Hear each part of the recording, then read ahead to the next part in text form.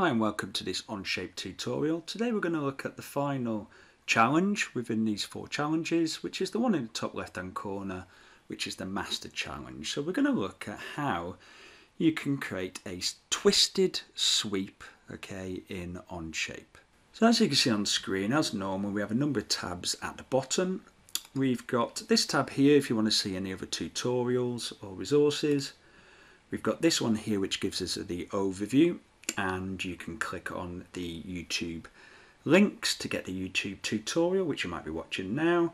We've also got here the tutorial okay part and we have the reference one as well. So what we're going to do is we've basically we're going to create a oval and ellipse and we're going to use the sweep feature okay and what instead of just doing a straight sweep we're going to basically twist that around okay to create this desired shape.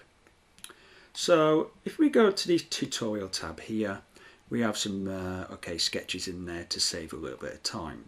So we've got on this front work plane here this ellipse okay? So I've basically gone into sketch okay selected that front work plane there and created that sketch. I then gone on the top okay uh, work plane and created a, a line like so.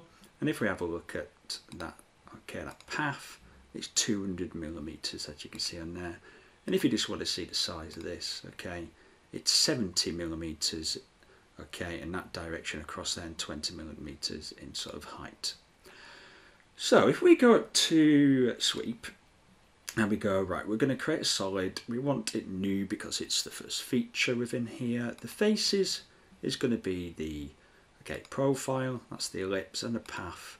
Okay I want to choose this one here. So you think right happy days I've got this okay and what I want to do now is twist it.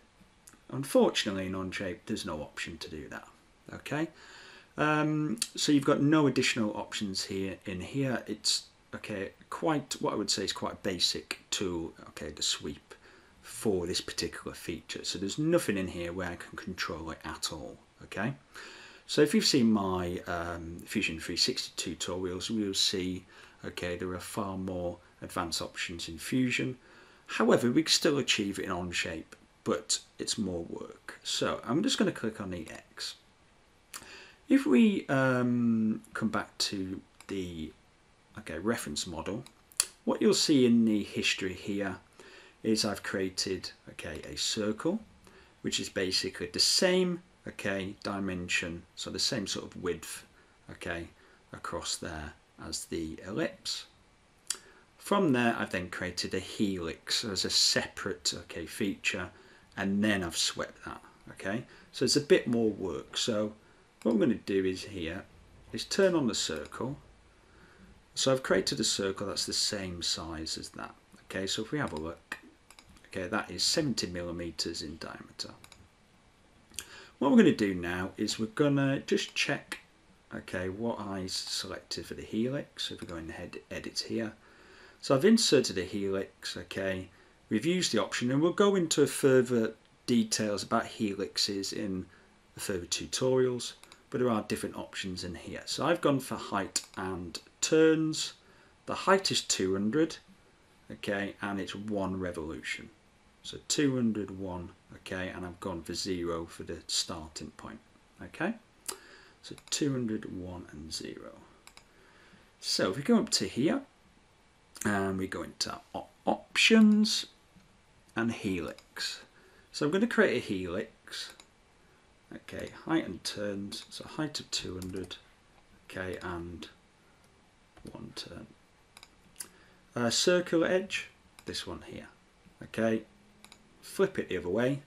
So as you can see, if you go for more revolutions, okay, you will see it will change that. And we'll have a look at what does that actually look like in 3D shortly. So we're going to go for 1, starting angle 0, okay, and click the tick. So that's created, okay, that uh, helix from there. So what we're going to do now, okay, is I'm going to turn off that circle and hide it. I'm going to go to sweep. So solid and new, okay. And what's the profile? This one. Now this time the path rather than being the straight line we're going to use the helix.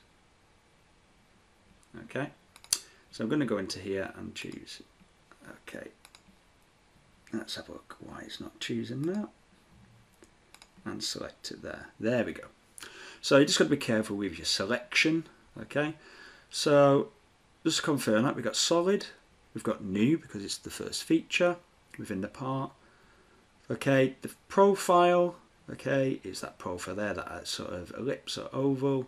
And then the curve okay is the helix. And as you'll see if I click tick okay I have, have achieved what I set out to achieve okay? But it's just a little bit more work okay involved in that rather than just clicking twist as an option okay if I go back into the helix okay and edit that and change obviously the height okay that will change the sort of the height or the length of that helix. If I click on this one here type in 3 okay and save that you'll see the feature will update okay and so will okay the overall geometry as you can see there. So you can create quite complex sweeps by adding okay that helix to it. And if I go back in there okay and go on to sorry the helix and edit that. I can then change obviously that back to one and update that and it will update again okay? So the key things to take away from this is if you want to create a twisted sweep okay you cannot do that by just using the sweep feature okay you've got to add a helix okay which is found under here in helix okay? And you can only add a helix okay to a circle sort of profile okay? If I tried adding a helix to this ellipse okay it will not work all right? So I've got to choose the circle okay? And I've set that circle to be the same okay width as that ellipse there.